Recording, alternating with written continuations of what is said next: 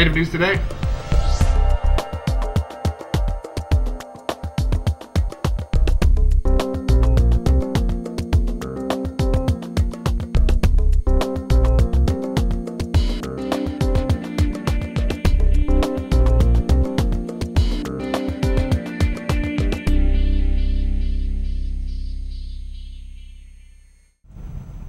Welcome to Native News Today, everyone. Jason Salzman, along with Gerald Wofford, and Gerald from the Principal Chief of the Seminole Nation to Fast Pitch Softball. We got everything covered this week on Native News Today. That is right. A plethora, if you will, of Native American stories. All this on Native News Today. Yeah, we got all kinds of stuff covered. We went to Tahlequah, Seminole, Oklahoma City, all kinds of things going on this week, and we've really put the miles on the car. So lots of great things coming up for you folks. Grab a chair. You don't want to go anywhere because in the next 30 minutes, we've got lots of great Native American stories right here.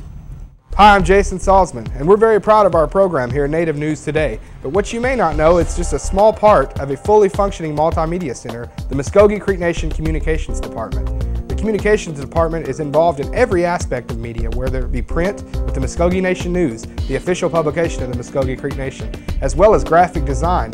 The graphic design department here can offer everything from event invitations to banners to even calendars and desk decals. It's all involved here, as well as photography, a professional grade studio where Muskogee Creek citizens can receive discount rates for things such as senior pictures and family portraits. So for all of your multimedia needs, please don't hesitate to come down to the Muskogee Creek Nation Communications Department located in Okmulgee at the Capitol Complex, or you can reach us by phone at 918-732-7720. Let us help you get your name out there.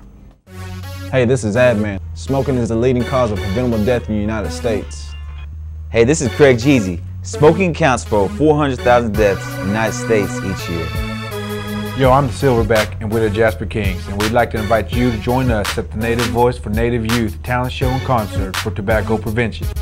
We have too many kids smoking when they're young. Thanks, and we hope to see you there. We got too many kids smoking, smoking when they're young. Got too And welcome back to Native News Today. Jason, you guys ventured down into Seminole country, right? Absolutely, Gerald. We were down in Wewoka at the complex of the Seminole Tribe of Oklahoma, and we got to visit with one of Oklahoma's great public servants and ambassadors, Enoch Kelly Haney, the principal chief of the Seminole Tribe of Oklahoma. And Kelly has uh, done everything from being a state senator to an accomplished artist, and now he's leading the Seminole Tribe as the principal chief. And we talked to him about an important election coming up for that tribe.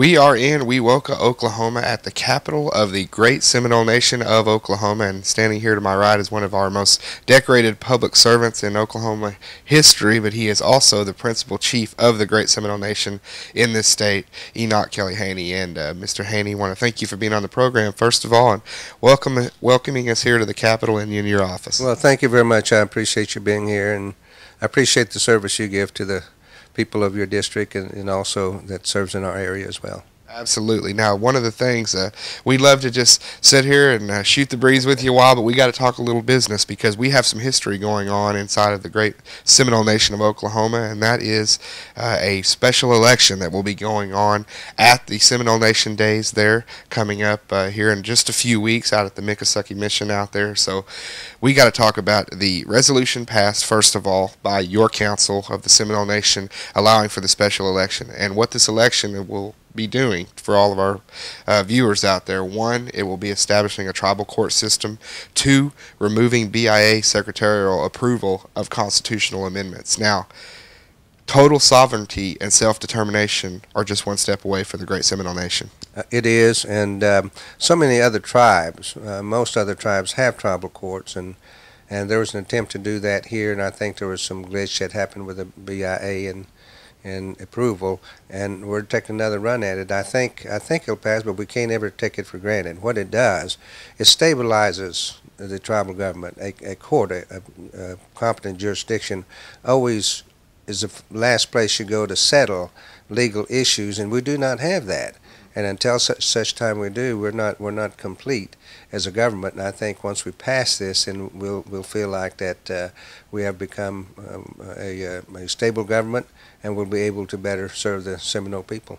Sure, that's what it's uh, all about here. And I know you're well schooled in the uh, legal actions and things like that. And one of the main thing about courts and and uh, in the legal system basically is precedents. And one of the examples I would give on the importance of tribes having court systems is just recently here with what's been going on with the Cherokee Nation.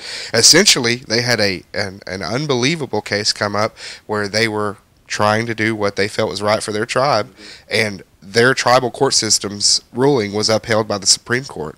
Is that a good example to look at and say, "Hey, we need this for our tribe"? It, it is a good example, and, and the fact that you we do have uh, if, if uh, a uh, person decides to carry it to the Supreme Court, then our courts have to be uh, well versed. They have to be um, uh, attorneys, people who are in the law, most generally people who are already judges, to make these decisions because those decisions that are made have to be uh, upheld by the Supreme Court as it relates to Indian issues. I think that was a good, uh, very good uh, sign. Uh, we did, uh, the Seminole Nation by resolution did go and support of the Cherokees' ability to, to manage their own business and, and uh, to recognize their sovereignty. So we, we're very proud to do that. And the, the federal government, even uh, since 1993's uh, passing of the Indian Tribal Justice Act, has shown uh, the faith to put in the tribes to have their own court systems. And it's up to us to establish these court systems. And I think the Seminole Nation is picking up the reins there and, and getting ready to do something very historic for this tribe here. Now, one of the good things I want to mention to everybody out there is you can vote.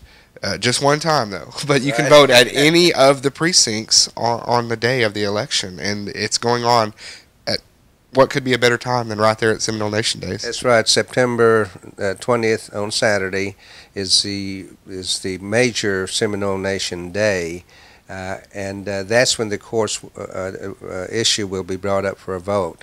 We have three voting precincts in Seminole County: Strathers, Mekusukey, and Sasakwa. Uh, we also have established a uh, a um, voting poll in Tulsa, as well as Oklahoma City. And uh, as you say, a member can uh, a member who's eligible to vote can vote in any one of those elections.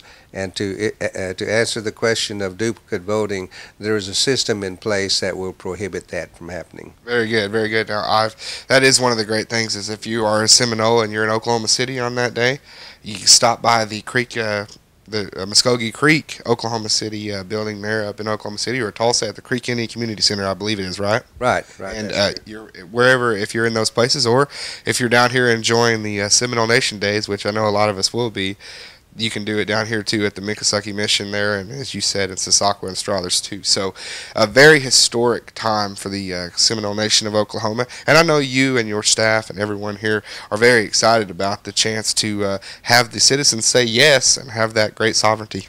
It, uh, we are, and, and we think it's a great move for the Seminole Nation. It's a tribute also to our council to be able to uh, authorize this movement. It, it was very quick, but we, we're on target to make sure everything takes place in the way that it should.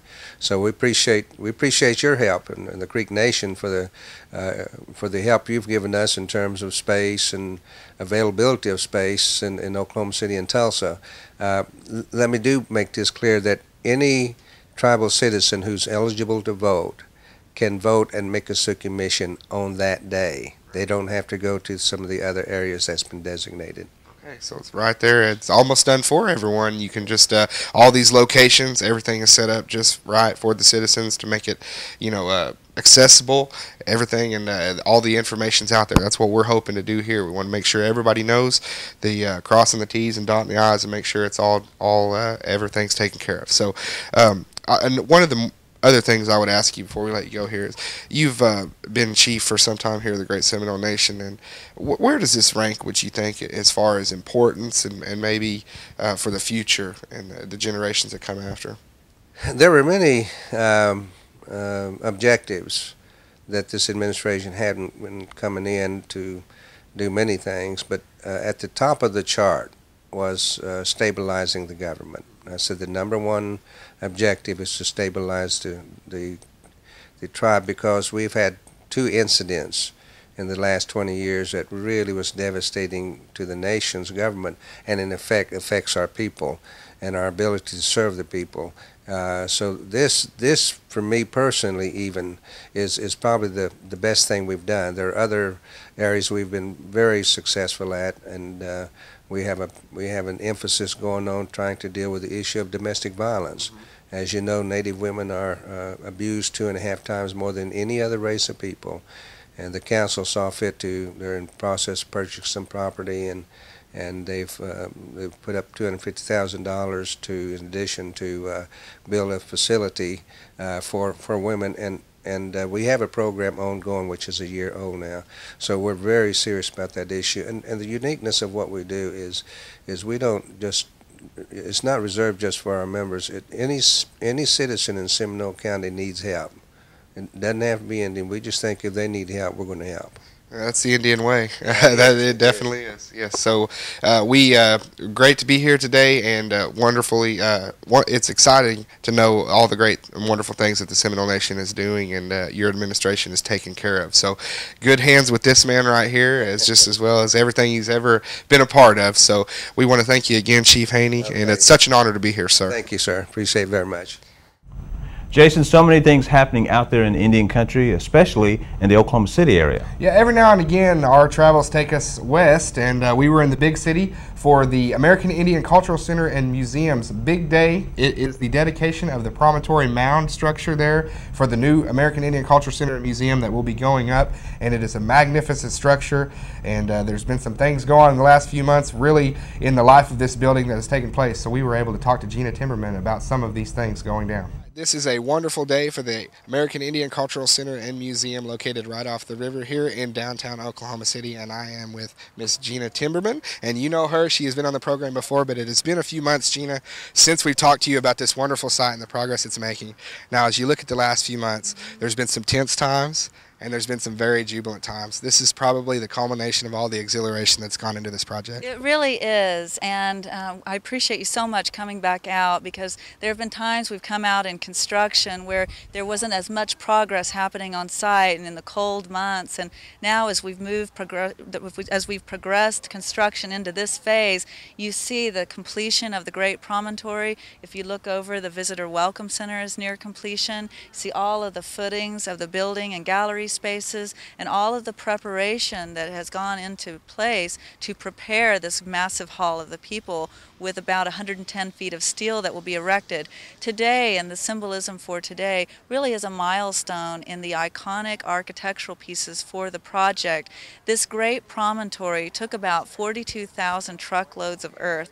It's about 1.7 billion pounds of soil. And really, if one starts below the Earth's grade on this beautiful journey walk and walks about 1,780 feet, you'll reach the peak. And that's really symbolic of the journey of Native people to this present day experience. Our past coming together with the present and then looking to the future. And at the peak, at 90 feet, looking out over the beautiful view of the city and the region, it really is a place to um, really remember our ancestors, to recognize who we are today and to look to the future as Native people. So this really is a milestone day. In this next phase, we will continue to seed all of the soil to continue the stabilization and really implement an irrigation system so that we can keep it a beautiful promontory mound. Yeah, it's the wonderful thing. You've made so much progress even since we've been here, and it's not really been that long, but you're the executive director of the state agency in charge of putting this whole thing on. Do you ever get overwhelmed? But I know you got a great staff behind you too. You know, any anytime I feel overwhelmed, I really look to um, the benefit of having strong-willed, talented people around me that keep the project moving, and the positive support and influence of a strong Native community here in Oklahoma that pushes this project to its next step. Um, and it can be challenging to not see the fruits of your labor when construction can be at slower times or prior to construction. But I have to say that to come out to the site, to be with the site, to see the transformation that's taking place is truly motivating, and the benefit of that uh, really outweighs any burden of feeling uh, overwhelmed anytime. Yeah, and uh, we, I mean, we got a little bit of everybody out here. There's tribal dignitaries, uh, elders out. We got uh, state agencies. We got um, media, all kinds, and we even got this helicopter. This guy keeps flying around here, getting good shots. So, but anyway, Gena, we uh, we're so glad to be here today, and it, this is just another step along the process. I know, but uh, I know for you and your staff and everybody, it's been a lot of uh, a lot of times getting in there and getting the help and everything, and getting everybody really to buy into the center. Have Have you felt that that's paid off? It really has, and I and when we began visiting with tribal communities early in the project's history, uh, it really became apparent that we needed to incorporate traditional elements of the earth land and the earth, water, wind, fire, also concepts that really spoke to the hearts of Native people here also some different elements of building structure, building with the earth, just the concept of that, and also looking at different traditional architectural forms like the Wichita Grass House and instilling that sense of architecture into the building space.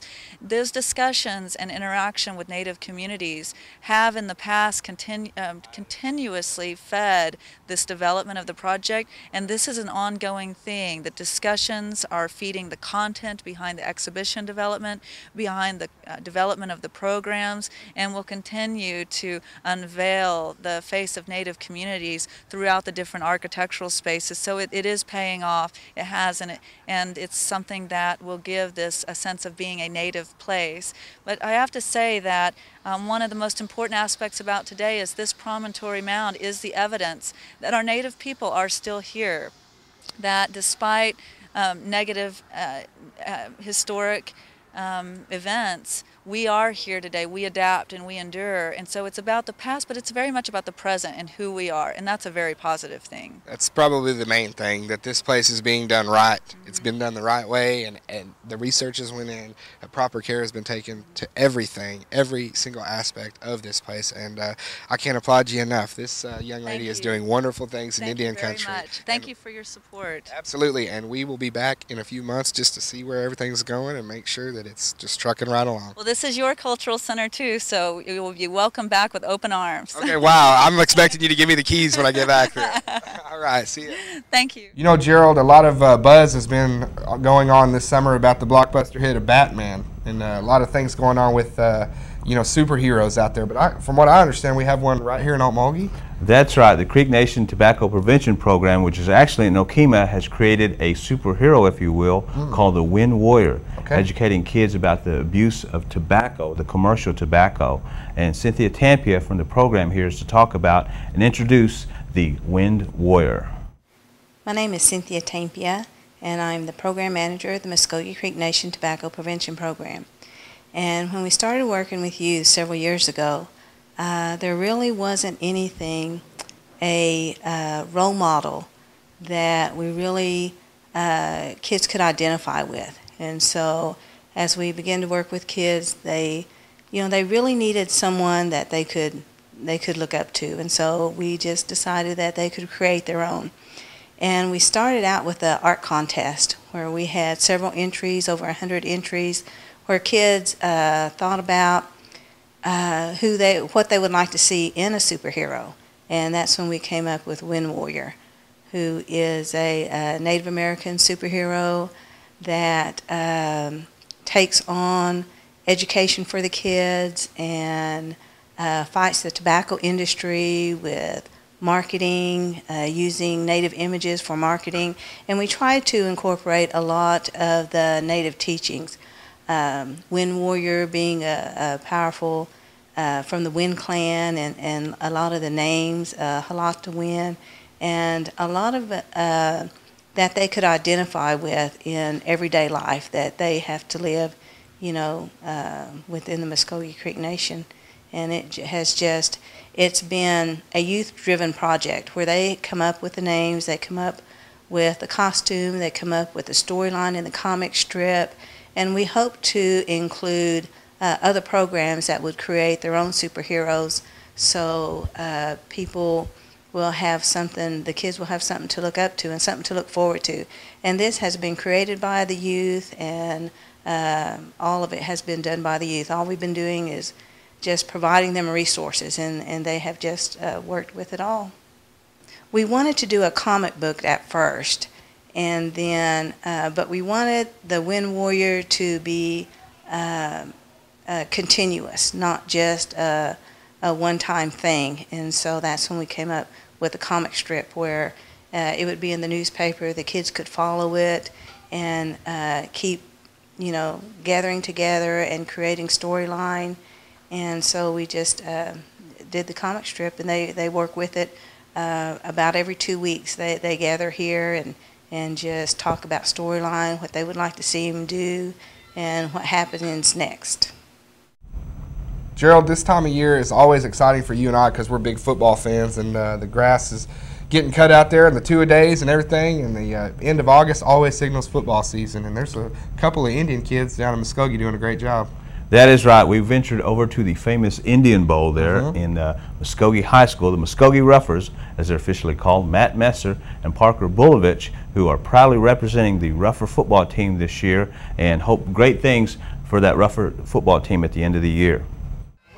We are at the famed Indian Bowl in Muskogee, Oklahoma, where they had the introduction of this year's Rougher High School football players. And I'm talking with two of the gentlemen here that make it happen, two Native American football players that make it happen here for the Muskogee Roughers, Mr. Parker Bulovich and Mr. Matt Messer here. I'm going to start over here with Parker first. Parker, tell us your tribe and tell us the positions that you play here for the Muskogee Roughers. Yes, uh, I'm a member of the Kiowa tribe and uh, I play offensive line and defensive line. And Matt, you? I'm Creek Indian, and I uh, play defensive end and uh, offensive line and fullback. Matt, starting with you, you're the senior here. Tell us what it means to you tonight to be introduced in front of the home crowd, senior year, getting ready for another year. Well, it's just a lot that we've been waiting on. You know, just been getting ready for this year for the past since we were freshmen, just getting ready for it, and we hope we can do good this year. How about you, Parker, being out here in front of the crowd and everything, uh, getting introduced? What do you think about that? It's uh, it's a thrill. I mean, you, you get the fans here and they start thinking about the season, and it uh, brings us together as a community. Let people know, get involved. It's a, it's a good thing.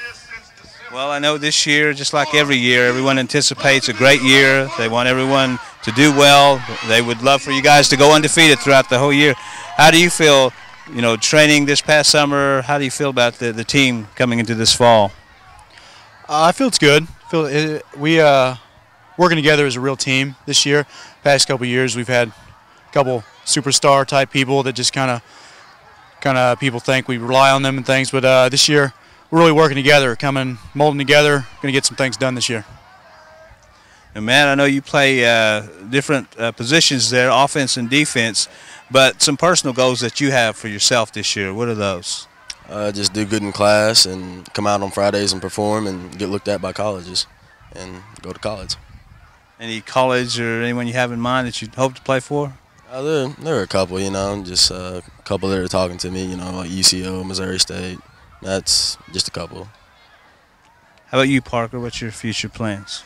Well, uh, I plan to attend uh, Oklahoma University, not for uh, not on a football scholarship, but uh, not quite that good. but uh, law school, we're looking at that, and uh, hopefully I can get there. That is the plan. Parker Bulovich and Matt Messer. Gentlemen, all the best of luck to you this year. We appreciate your time. Thank you. Jason, we conclude today's program with another sports story you and your team went up to uh, Tahlequah country up there and played in a softball tournament and were coached by a local legend. Yes, a local legend indeed. And uh, I not only refer to him as a local legend, but I also refer to him as my uncle, I'm proud to say, Mr. Grover Wind. And he uh, put a team together. And really, this started out in, in his eyes as a family get together. And uh, that's what it's all about family getting together to play some fast pitch softball. My name's Grover Wind, and uh, I'm the coach of the indigenous fast pitch all-Indian soft, uh, softball team, obviously.